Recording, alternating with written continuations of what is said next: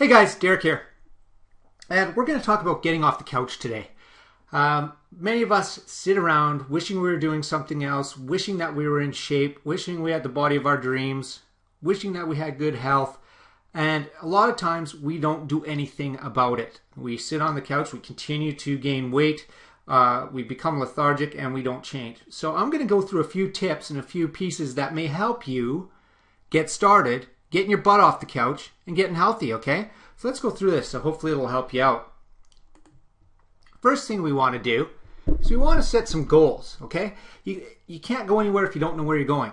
So if you get in the car and you just drive, you're not going to get anywhere specific. And with your goals, you really need to set your goal, make it specific, and there needs to be some points to go through to make sure that your goal is attainable, okay?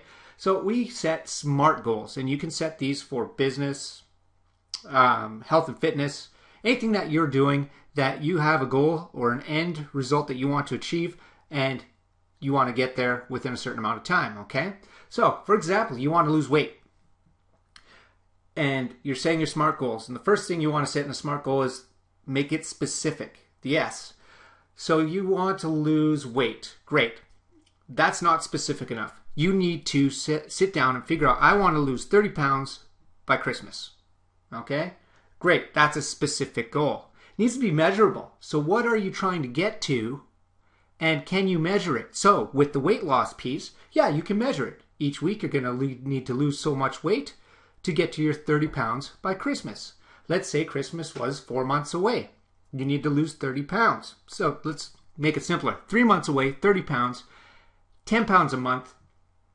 You're looking at 2.5 pounds a week is what if you break it right down and that's what you really need to do so when you make it measurable the m in smart goals break it down into bite-sized chunks or else you get overwhelmed with the big picture. It needs to be achievable. That's the a in smart. Don't make pie in the sky goals. Don't set a goal that is unachievable. If you've never run a mile in your life don't go out and set a goal of running a triathlon uh, in a month okay? It needs to be something that's achievable which also relates to the realistic piece, the R in SMART goals. So achievable and realistic kind of run hand in hand. And just like the first part, making it specific and measurable, it needs to be time bound. So again, if you're losing weight, don't just say, I want to lose 30 pounds. That's more specific than just saying, I want to lose weight, but it's not specific enough. Who cares if you want to lose 30 pounds? Lots of people want to do that. When do you want to do it by?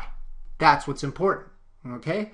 Make sure you track it Make sure that you're on top of it and you're making constant progress. Okay? That's how you set goals. Hope that makes sense. On to the next one. Keep records. So, with these awesome goals that you're going to set, and we're talking about the fat loss piece, you might as well track everything because then you're going to be able to see the progress that you're making. That's going to motivate you. That's going to tell you when you're either doing things right or doing things wrong in getting to your goal. Okay? It's like when you get on an airplane and the pilot flies wherever you're going, if they didn't check with radio terror, the ground crews, his co-pilot, all of their systems and navigation units, and just flew, they're not tracking anything, you'd never get to where you want to go. Okay? So, some ways you can do that. Keep a food log or diary. I get my clients at Bounce here to log their food four days over a weekend because you eat differently on the weekend normally than you do during the week. Create a log. Write down everything you eat. You're going to be shocked at what you see. Training log.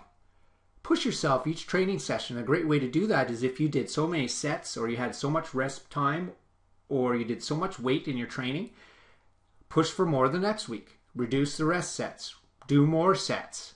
Um, increase the weight. Increase the intensity. Just different ways that you can continue to progress because the body adapts so quickly. Use apps for your portable devices. Uh, there's apps for everything nowadays, and you can track almost anything. Okay, and this is a great way to watch for your plateaus and make adjustments. So if you're if you plateau for a week or two, you've now hit a, hit a plateau. You're doing something that needs to be changed. Okay, you uh, either your your workout is stagnant, your nutrition is off. It's possible if you're training too much that you might need a rest, but that's highly unlikely. Okay, um, you need to be training a lot to need that rest to overtrain. Okay, but likely what's happened is your body's adapted to the workout that you're doing. You need to change it up, increase the intensity, change the exercises, increase the weight, change the rest periods, tempo, all kinds of different things you can do. Okay. On the next one, find a partner. This is awesome. While I have never had a training partner for a long period of time because nobody that I know or have met sticks to a training regimen like I do.